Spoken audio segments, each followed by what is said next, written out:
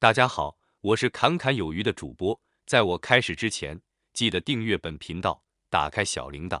这样我发布新内容时，你才能获得最新的节目通知。全球最大的手机和记忆体晶片制造商三星电子，在消费电子需求疲软带来的记忆体晶片寒冬之中，正面临腹背受敌的窘境。一方面，公司正因业绩疲软而承受巨大财务压力；另一方面，公司工会威胁称将进行大规模罢工。三星电子全国工会五月警告称，工会成员可能会因工资纠纷而大规模罢工。三星电子主要包括三星的消费硬体、半导体、显示器和行动通讯业务。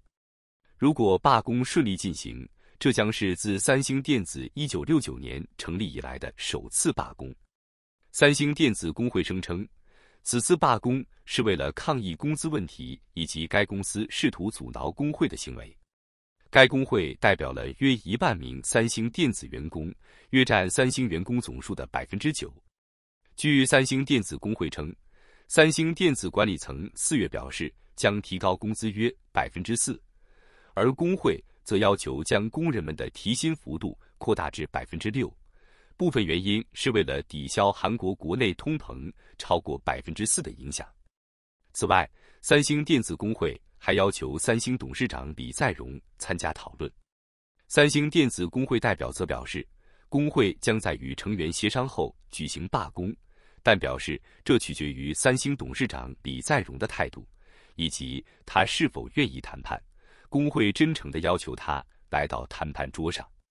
三星火灾海洋保险公司的工会代表也表示，如果三星电子发起罢工，三星集团子公司的其他十一个工会，如建筑商三星物产 （Samsung CNT 或电动汽车电池制造商三星 SDI 的工会，也将效仿。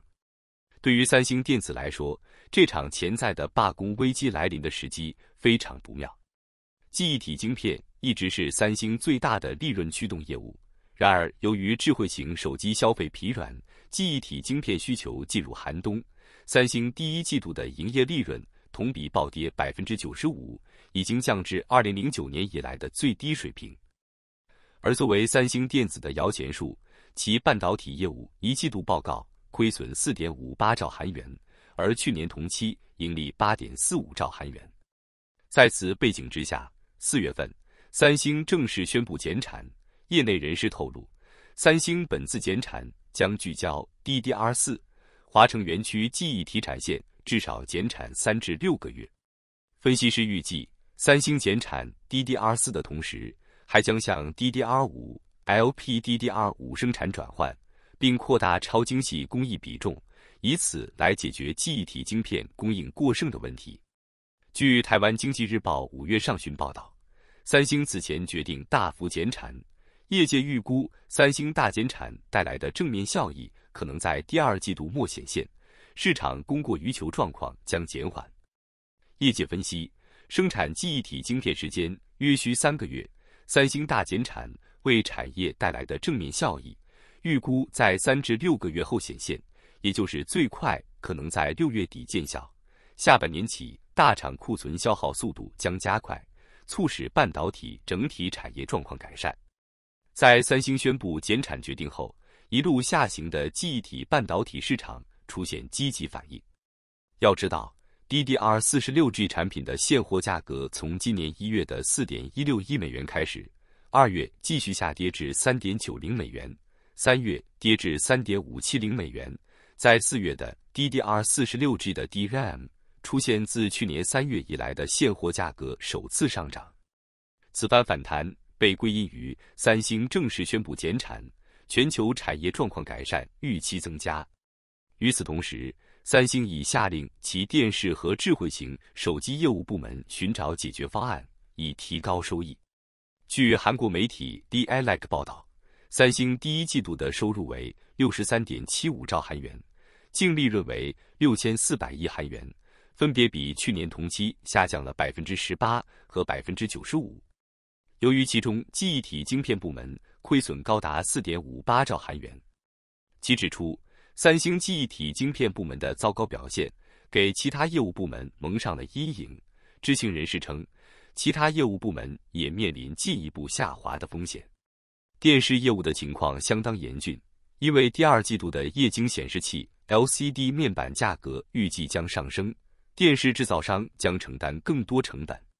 近日，研调机构 TrendForce 指出，目前电视面板的备货动能仍在，加上面板厂持续动态调控稼动率之下，电视面板价格在五月份仍维持上涨态势，预计全尺寸都会回升至现金成本之上。与竞争对手 LG 相比，三星的电视业务在第一季度的收益较低，而手机业务也没有增长动力，